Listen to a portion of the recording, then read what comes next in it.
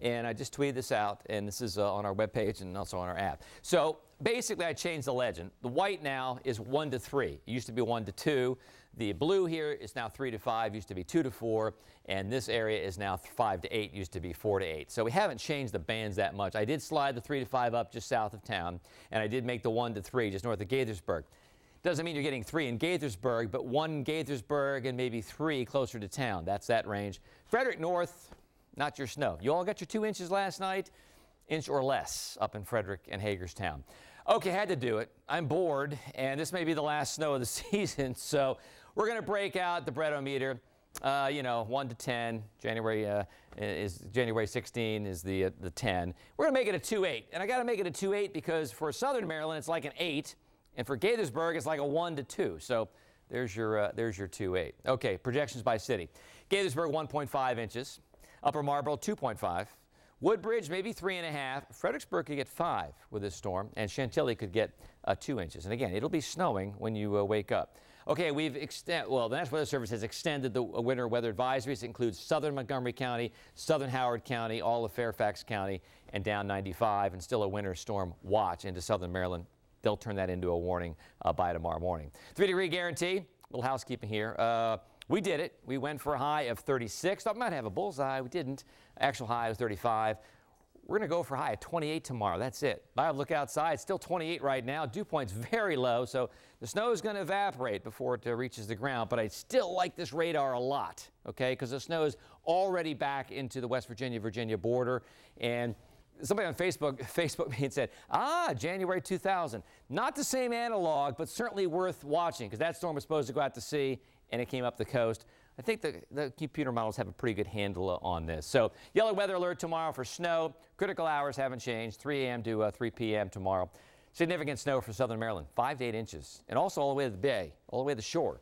And temps below 32 all weekend long. So day planners, snow across the board to start, only in the mid 20s. These are downtown temperatures.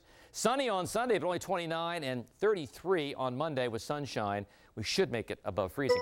Then the pattern changes. That's why I broke out the breadometer because we got 60s on the seven day.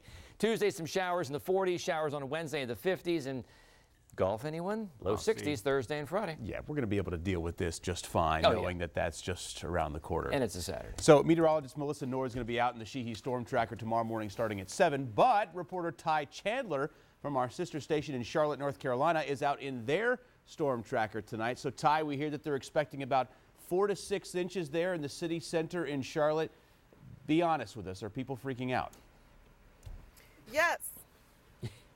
Yes, people are actually. You should saw the grocery stores actually the last two days. Bread, milk, obviously all gone, but we're on the roads, and right now we just give you a look at what we're seeing right now. These are the roads right now here in Gastonia, which is about 15, 20 minutes away from Charlotte. You can see some uh, snow falling. You can see the road already a little slick. Some uh, white stuff on the grass so far, not sticking to the street, which is a good thing so far. So that's what we're seeing right now. Not a lot of big snow events where you are there in Charlotte. Do they have the infrastructure, the uh, crews to be able to get out there and, and clean all those streets up in, in good time when it happens?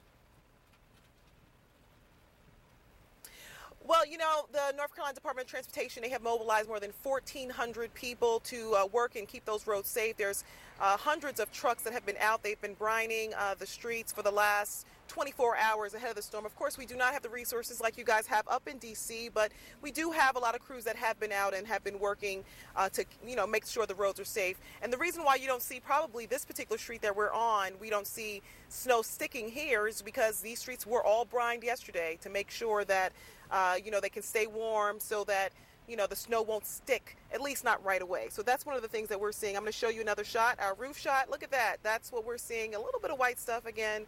But the roads right now looking pretty good. All right. Well, all the best to you guys, Ty Chandler and Charlotte. Appreciate your That's time. Thanks so much. Charlotte. All right, we're coming right back. Brooks. Contents of this case are precious. The first of their kind. I trust you'll get this to the proper person when the time is right? Indeed. Excellent.